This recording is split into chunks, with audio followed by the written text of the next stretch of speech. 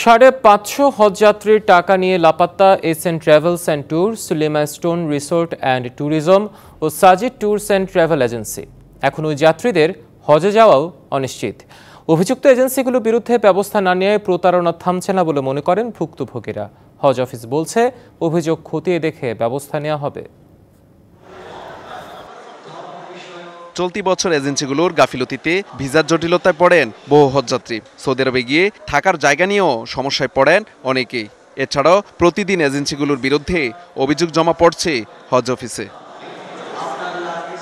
এর মধ্যে এবার সাড়ে পাঁচশো হজযাত্রী টাকা নিয়ে লাপাত্তা, S N travel and tours Limestone resort and tourism O Saji tours and travel agency.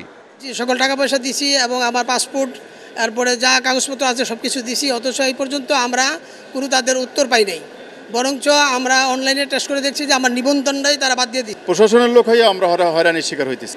সাধারণ মানুষ তো হয়রানির শিকার আরও বেশি হইতেছে।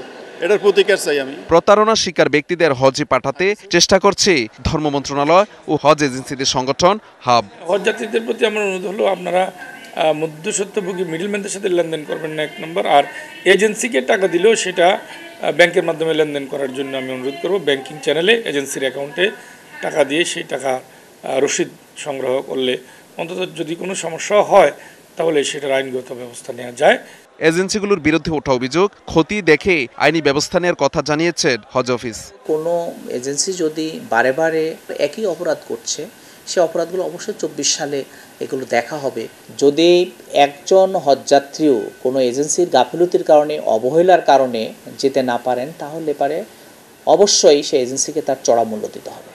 চব্বিশে জুন, শেষ ফ্লাইট হলেও এখনও ভিসা হয়নি দুই হাজারের বেশি যাত্রীর। Mahmudul Hasan Nazim, DBC news, Dhaka.